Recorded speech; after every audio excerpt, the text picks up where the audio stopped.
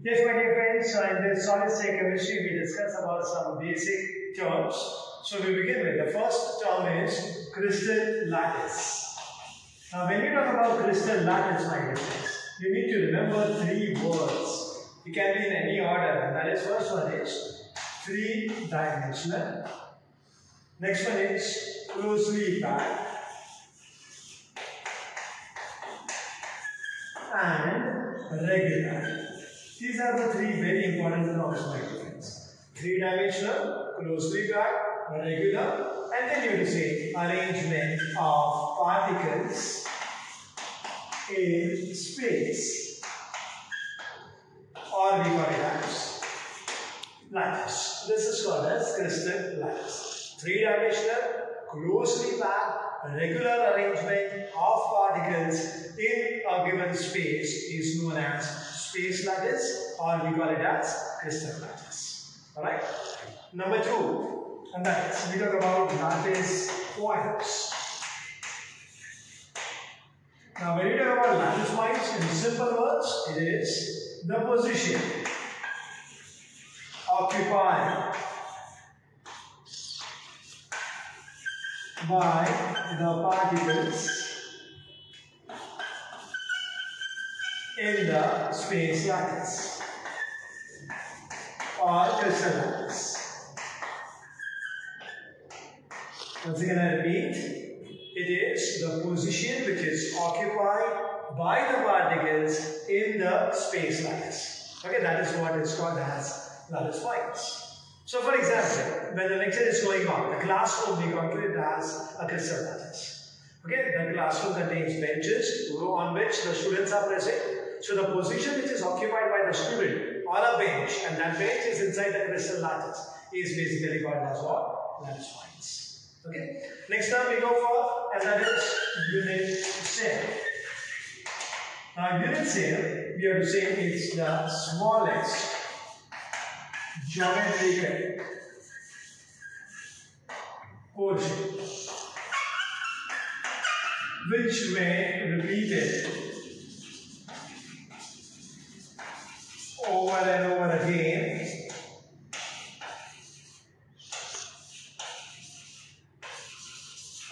that will give you the entire crystal lattice. That is basically called as unit cell. Once again, that will be smallest geometrical portion. And it cannot be smaller than that. Okay, that is what is smallest. The smallest geometrical portion which when repeated over and over again. Okay, बार बार उसको अगर हम लोग ने repeat किया तो हमें एक पूरा क्रिस्टल लैटिस मिलेगा। Okay okay? इसे हम क्या बोलते हैं? Unit cell okay so first line was about crystal lattice three dimensional closely packed regular arrangement of particles दूसरा है lattice points the position which is occupied by the particles in the space lattice और तीसरा है about unit cell जो smallest geometrical portion होता है और जिसको हम लोग बार बार अगर रिपीट करें तो हमें एक entire crystal lattice मिलेगा. Okay, so I hope यहाँ तक आपको clear है. Okay, now my dear friends. With respect to geometry, I am going to explain you some terms. So let us consider a unit cell. And I give you an example of a cubic. Okay, there are various geometries. So let us talk about a cubic geometry. Alright? So a cubic geometry can be shown like this.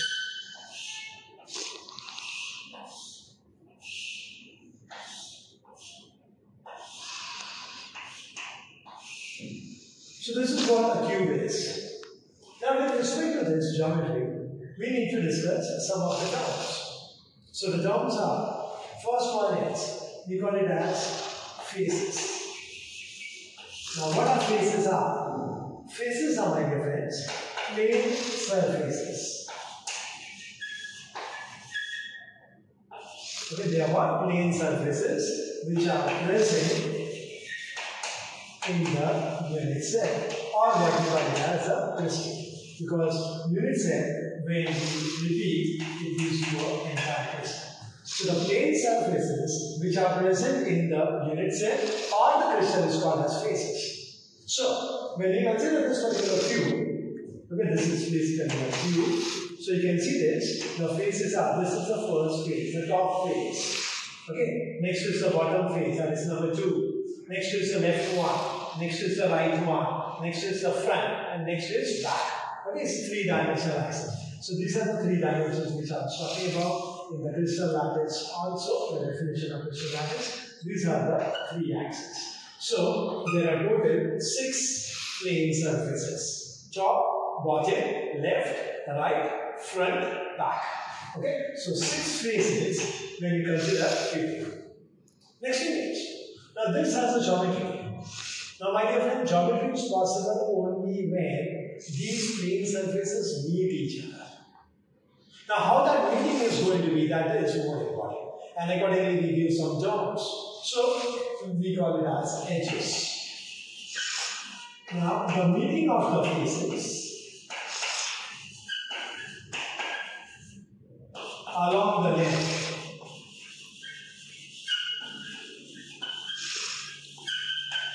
is called as edges. Okay, so that means I am talking about this distance. Okay, this is the edge. So if I'm going to count the total number of edges, then this is the first, second, third, fourth, fifth, sixth, seventh, eighth, ninth, ten, eleven, and twelve. So you can see this. There are total twelve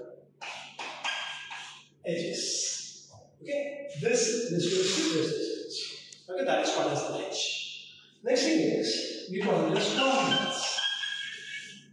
Here what happens is the meeting of the faces takes place at a point. Meeting of the faces at a point is called as corner. So how many corners will be? One, two, three, four, five, six, seven, and eight. So there are going to be eight corners. Alright? So with respect to the geometry, we consider first is faces.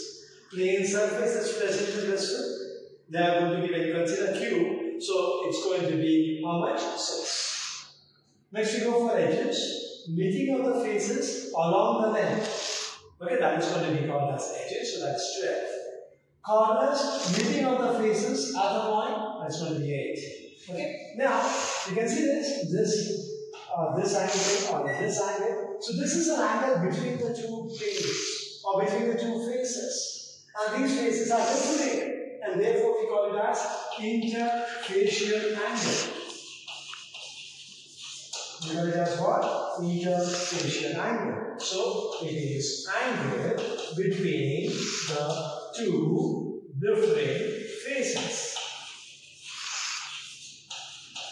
That is what is the interfacial angle. You can say, I can consider it as alpha, beta, gamma, or just simple as theta. Okay, interfacial angle, simply call it has what? Theta. So it's an angle between the two different planes or two different faces. So it is interfacial. I hope you have understood this. Uh, my dear friends, we go into the next part and that is called as center of symmetry.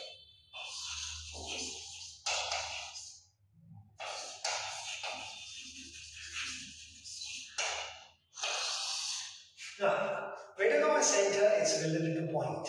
Okay, so it is going to be a point present inside the crystal such that the axis drawn through it will intersect the opposite sides at equal distances. Okay, once again. It's a point which is present inside the crystal such that the axis drawn through it will intersect the opposite sides at equal distances. Now what does that mean? I'll once again show you a cube.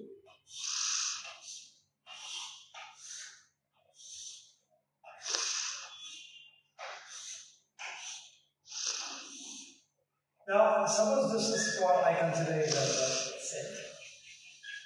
Okay, the point of symmetry.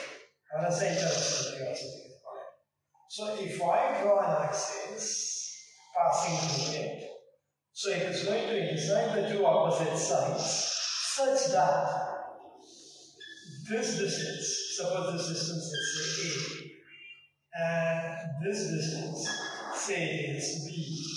Okay, so we say A is equal to B.